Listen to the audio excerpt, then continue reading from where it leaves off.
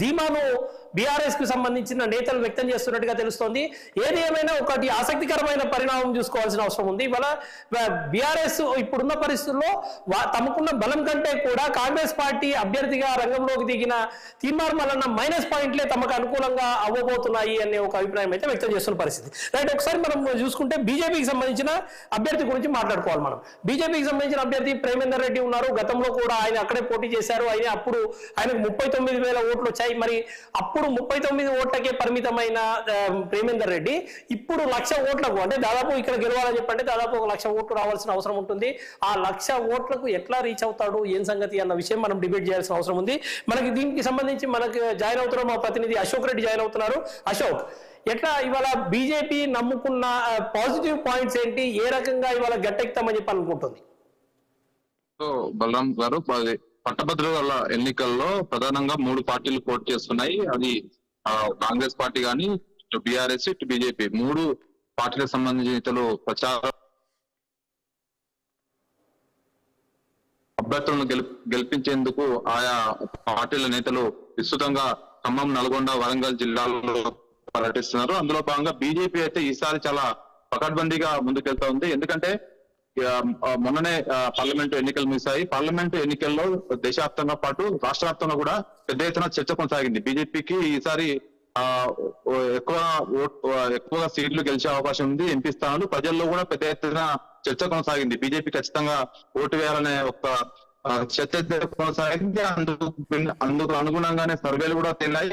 కూడా బీజేపీకి ఎక్కువ ఎంపీ సీట్లు ప్రధానంగా మోడీ ఫోకస్తో మోడీ పేరుతో రాష్ట్రంగా కానీ దేశవ్యాప్తంగా సీట్లు ఎక్కువగా వచ్చే అవకాశం ఉంది. సో ప్రధానంగా రాష్ట్ర రాష్ట్రంలో చూస్తే ఏదైతే ఎంపీలు స్థానాలు ఎక్కువగా వస్తాయి కానీ దానికి అనుగుణంగా కూడా ఇప్పుడు జరగబోయే పట్టభద్ర ఎన్నికలు ఎమ్మెల్సీ ఖచ్చితంగా బీజేపీకి అడ్వాంటేజ్ అవకాశం ఉంది. ఎందుకంటే పట్టభద్రులో చాలా మంది విద్యావంతులు టీచర్స్ చదువుకున్న వాళ్ళు ఉంటారు కాబట్టి ఖచ్చితంగా దేశ అభివృద్ధి కోసం ఏదైతే బీజేపీ పార్టీ గత పది సంవత్సరాలుగా ఏదైతే చేస్తుందో దాని ఆ పార్టీకి ఓటు వేస్తారంటూ బీజేపీ నాయకులు విస్తృతంగా భావిస్తున్నారు. అందులో అందులో భాగంగానే బీజేపీ నాయకులు అటు రాష్ట్ర నాయకులు అటు కేంద్ర మంత్రి కిషన్ రెడ్డితో పాటు రాష్ట్ర అధ్యక్షుడు ఆయన ఇటల రాజేంద్ర డికే అర్ణ ఇట్లాంటి సీనియర్ బండి సంజయ్ లాంటి సీనియర్ నాయకులు విస్తృతంగా అయితే వరంగల్ ఖమ్మం నల్గొండ జిల్లాలో పర్యటిస్తున్నారు. ఖచ్చితంగా మోడీ వేవ్ ఈ పట్టభద్రుల ఎన్నికల్లో కూడా పనికొస్తున్నట్టు బీజేపీ నాయకులు డిమాండ్ వ్యక్తం చేస్తున్నారు. సో గతంలో కూడా ప్రేమేందర్ రెడ్డి పోటీ చేశారు. గతంలో కేవలం ముప్పై ముప్పై ఐదు ఓట్లు వచ్చాయి. ఈసారి లక్షకు పైగా ఓట్లు వస్తే తప్ప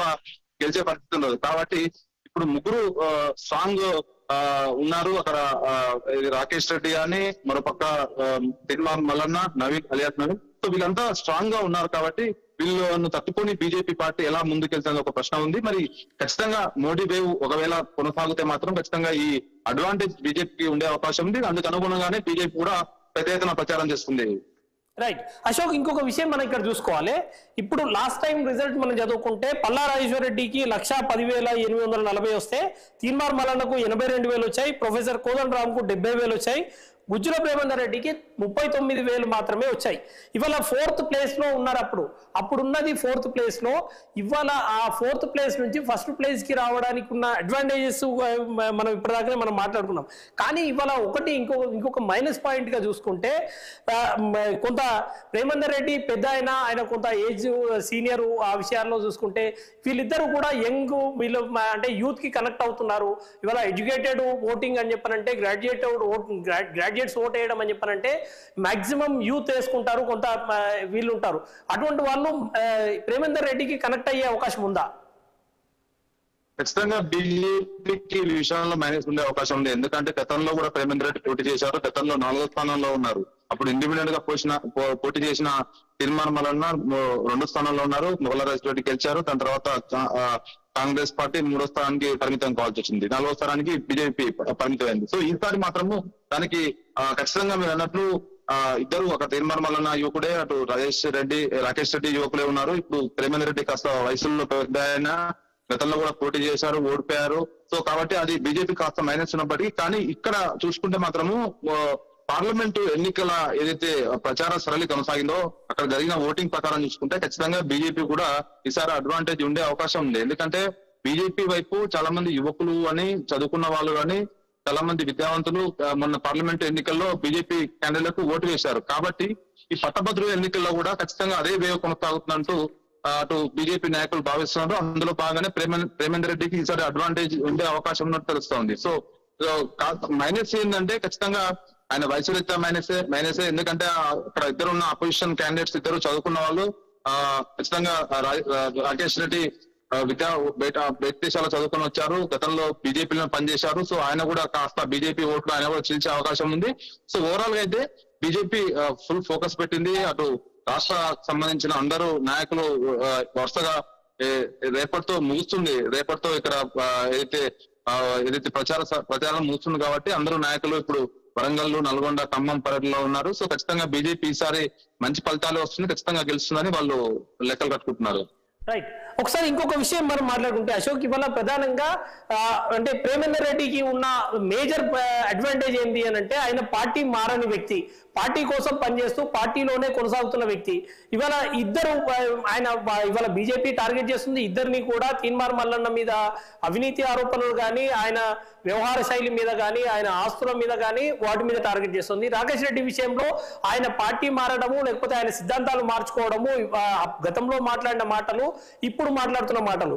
ఈ రకంగా చేస్తున్న క్యాంపెయిన్ కనుక బీజేపీకి ఏమైనా కొంత అడ్వాంటేజ్ అయ్యే అవకాశం ఉందా? సో ఖచ్చితంగా మీరు అన్నట్లు అది అడ్వాంటేజ్ కూడా అయ్యే అవకాశం ఉంది. ఎందుకంటే ఆ తీర్మానం మల్లన్న పైన చాలా ఆరోపణలు ఉన్నాయి. గతంలో ఆయన చాలా పార్టీలు మారాడు బీజేపీలో చేరి బీజేపీ బయటకు వచ్చారు సో తర్వాత కాంగ్రెస్లో సపోర్ట్ చేస్తూనే కాంగ్రెస్ని కూడా తిట్టిన సందర్భాలు ఉన్నాయి. కాబట్టి ఆ ఆ అడ్వాంటేజ్ని బీజేపీ వాడుకునే అవకాశం ఉంది. ప్రేమేంద్ర రెడ్డికి ఉపయోగపడే అవకాశం ఉంది. తీర్మానాలపై ఒక ఆరోపణలుగా చాలా ఆరోపణలు ఉన్నాయి. అది ఆయన మీద భూ కబ్జాదారులు అంటూ బ్లాక్ మెయిల్ అంటూ మహిళలను వేధింపులు అనేక వందల కోట్లు సంపాదించారని ఒక పేరు కూడా ఉంది. సో ఇవన్నీ అర్థంగా బీజేపీకి ఉపయోగపడే అవకాశం ఉంది. ఎందుకంటే ఇప్పుడు ఉన్న ఏదైతే గ్రాడ్యుయేట్ ఎన్నికల్లో చాలా మంది విద్యావంతులు చదువుకున్న వాళ్ళు ఉపాధ్యాయులు వీళ్ళంతా ఉంటారు. కాబట్టి మంచి క్యాండిడేట్లు ఏదైతే క్లీన్ క్యాండిడేట్స్ అంటే ఎలాంటి ఆరోపణ లేని క్యాండిడేట్ కే ఓటు వేయాలని చూస్తుంటారు. సో తిన్మాన్ మల్లన్నకు ఎంత ఎంత పబ్లిసిటీ ఉన్నప్పటికీ ఎంత ఆయనకు సపోర్ట్ ఉన్నప్పటికీ అంత నెగిటివ్ కూడా ఉంది రాష్ట్ర వ్యాప్తంగా కాబట్టి దాన్ని ఉపయోగించుకోవడం చూస్తుంది. మరోపక్క కాంగ్రెస్ పార్టీ ఏదైతే ఈ ఈ ఐదున్నర నెలల్లో ఆరు గ్యారెంటీల అమలు కానీ ఇవన్నీ చేయలేదు. ఖచ్చితంగా వాటికి ఫుల్ఫిల్ చేయలేదు. ఉద్యోగస్తులకు ఉద్యోగాలు ఇస్తామంటూ అది కూడా నిరుద్యోగులకు ఉద్యోగాలు ఇవ్వలేదు. సో ఇవన్నీ మైనస్ ఖచ్చితంగా కాంగ్రెస్కు ఉండే అవకాశం ఉంది.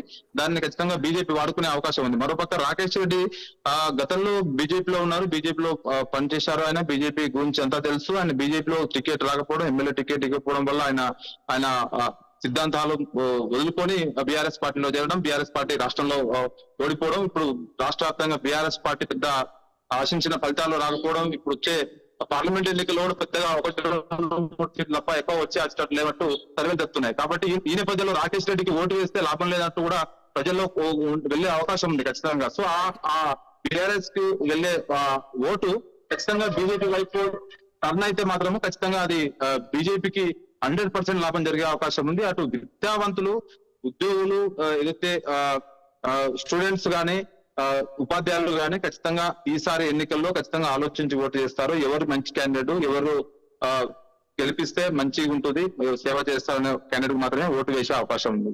Right okay thank you thank you Ashok so మొత్తంగా ఏది చూసుకున్నా ఇవాళ ఉన్న